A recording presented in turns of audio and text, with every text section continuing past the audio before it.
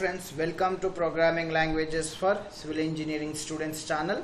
In this video, I will discuss uh, how to create the multiple graphical user interface in MATLAB uh, GUI. Okay, uh, let me uh, demonstrate by a simple uh, example. Okay, let us create. Uh, let us run this program first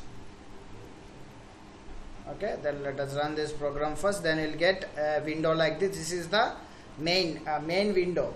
Let us say i want to uh, select let us say a calculator or types of curves or cantilever beam. Then if you select this calculator then new window will appear. Then if you select this type of curves uh, this type of curves window will appear. Then if you select the cantilever beam design uh, then you'll get the windows related to cantilever beam design. Okay let me uh, demonstrate one by one. Let us take uh, let us click on this calculator. Okay.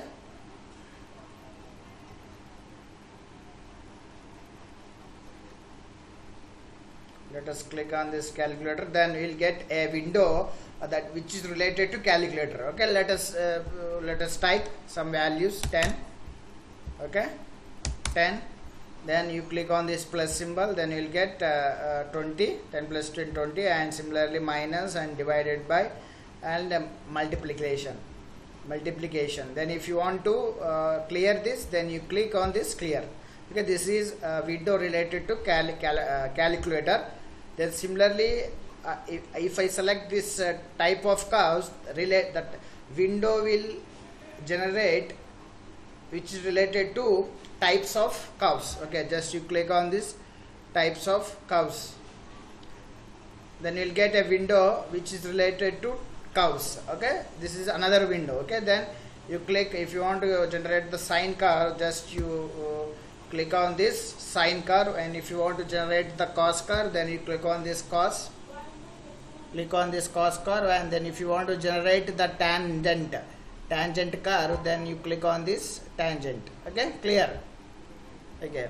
Then similarly if I want if I select the cantilever beam design uh, this button push button then the window will open that is related to cantilever beam design. Okay cantilever beam design. You click on this cantilever beam design then you'll get a window like this. This is related to design of cantilever beam okay then you click on this uh, let us say 20 grade of concrete. Then you can see here note. Press tab key to enter the values without using the mouse okay? Then you tab key then 415 then again enter the tab key. Then uh, uh, cleared span is uh, uh, 2.3 meters and uh, width of the support that is two uh, column support that is 230 mm then clear cover is 40 mm enter the width of the beam. Width of the beam is 300 and the live load live load is 2 and floor finish load is 0.9 kilonewton per uh, kilonewton per meter square. Sorry uh, i have to change kilonewton per meter square. Then the main diameter main diameter uh, main diameter uh, is 12 mm. Then similarly shear shear bar diameter that is st- stirrups diameter is 8 8 mm. Then you can you can click here start design okay? Start design. You can click this uh, start design then it will calculate. It will calculate the shear force bending moment and also the bending moment diagram. Shear force diagram and bending moment diagram. Then we will get here outputs. It will take some little time. Okay? I will explain uh, how uh, how we can we have to transfer. We, how we can uh, create this multiple very easy trick. Don't require any uh, uh, any uh, much more things about this just a simple trick okay? I will explain you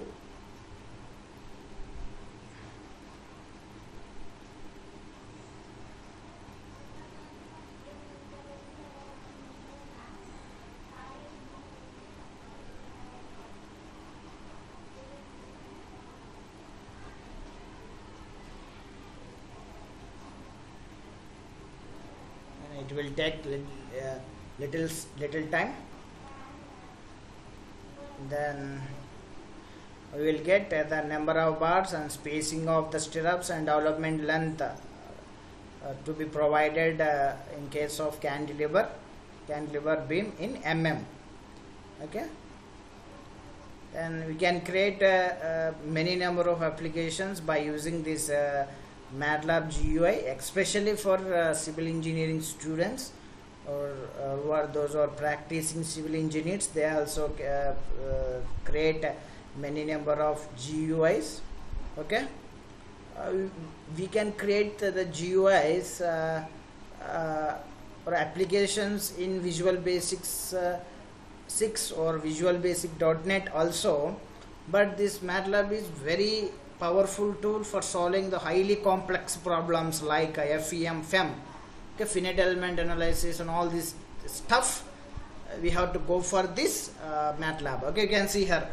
Then this is the shear force uh, diagram and uh, this is the bending moment diagram and this is the uh, D effective that is 362 mm the number of bars to be reinforcement main reinforced bar provided at the at the top okay? At the top. Generally the at the cantilever beam the tension is at the top side. Then spacing of bars is 271.5 mm and development length is uh, uh, 902.625 mm okay this is all about uh, this uh, thing. Okay let me explain.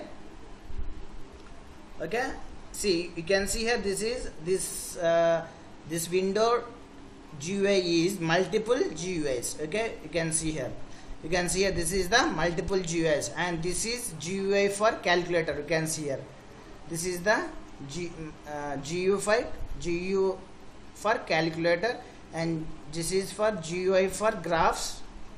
Okay and this is GUI for cantilever beam. Then this is my main window. This is the single window in this I have options. In this I have options like you can see here. Okay you can uh, you can see here like this. Okay options. That is calculator and types of curves and cantilever beam design. How we can use in this window you you, you create three pop-up menus. Uh, you, you, you can create three pop-up menus under the name calculator types of curves and cantilever beam design. Cantilever beam design then under push button 1 let us say I used the GUI underscore calculator. That is the GUI file of the calculator. You, can, have to write the GUI underscore calculator. And similarly for uh, if you uh, under push button 2 by the name uh, types of cows then you have to write uh, GUI underscore graphs which is this is the GUI for uh, graphs similarly under push button 3 we have to write this GUI this cantilever beam GUI okay? Name. Name of name uh, file name you have to write. That is cantilever underscore beam underscore GUI okay then you can save and then you can run. Okay this is the main thing uh, you have to do. This is the main thing you have to you have to do uh, to to create the multiple GUIs in uh, single window if you want a single window if you select some different options then you'll get another window. Then you close that window and you select another option and similarly uh, what I have demonstrated. Okay? Anyway if you have any doubts please free feel to ask any questions regarding this GUI or if you ask uh, uh, to post any videos definitely I will try my best to post uh, what you required. Okay anyway thank you for watching this video. Thank you